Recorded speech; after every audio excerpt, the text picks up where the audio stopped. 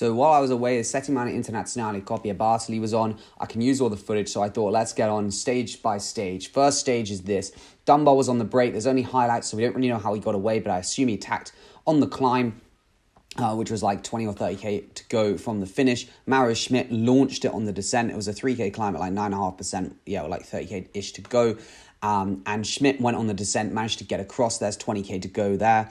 Um, so a fair, you know, not too far left, um, but still quite long for two riders. Um, but I think Ineos were actually happy for Schmid to come across uh, because it meant there was more chance of it staying away. They weren't going to chase. Um, there was Van der Poel, um, who was sort of, I guess, one of the favourites for this race. Ulissi. It's it's a classic sort of Ardennes style of race where it's really not super long climbs, but a lot of them up and down, relatively steep as well. Um, he had some good riders. Froome Dog was here, Geraint Thomas, Ben Tulett, uh, Eddie Dunbar. Ineos always bring a really strong team here. Uh, Kieran Uti Brix, who is also super highly rated, Nibali, um, uh, James Shaw, a couple other big names as well.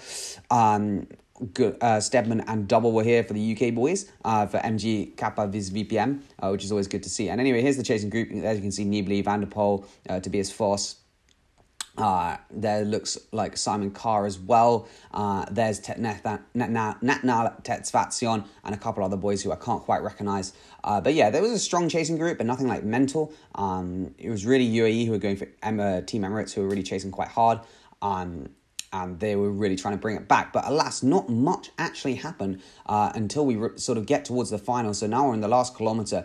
To be honest, Mauro Schmid has this sealed up, to be honest. Uh, Eddie Dunbar's obviously going for the GC, really, and more than anything else, that's why he's there. Um, obviously, he wants to win the stage, but as soon as Schmid comes across, I mean, look at the size difference. It's, You know, Dunbar's a punchy boy, but Schmid is uh, super strong. He won the Giro stage in, uh, to Montalcino last year, uh, beating uh, Alessandro Covi, uh, and it was a really impressive ride. Anyway, Dunbar tries to go early. I don't really know what this is. It's a half lead out, half sprint. He now really starts to wind it up, but I think he should have just wind up later or just lent on Schmid and said, You're the favourite for the stage.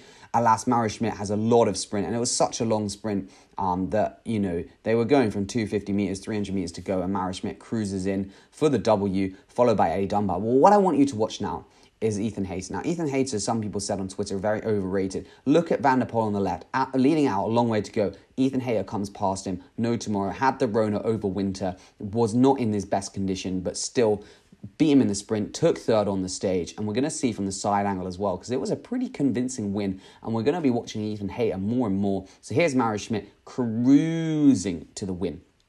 Uh, he's really underrated in my opinion. I think he's super good. It's a shame uh, uh, Qhubeka Assos folded last year as they had a real rider on his hands, but Patrick Lefevere picked him up for quick step, and he's looking in top top condition. Um, in sort of the semi classics, I think, especially some of the Italian day, like one day races like Tre Valli Varesine, etc. I think he's going to be a real favourite.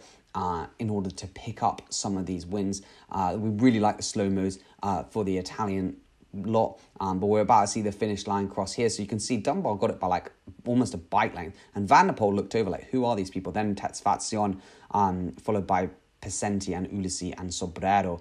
Um, but yeah, super strong from uh, Mauro Schmid, but also really impressive to see Ethan Hayter just out sprinting Vanderpoel. I love to see what Hayter can do if he focused really on the Cobble Classics, but also in the Ardennes, I think he has a good chance of uh, doing well. So anyway, cheers for watching. Hope you enjoy. Uh, tune back in the next couple days because we're going to have more and more content from this top quality race.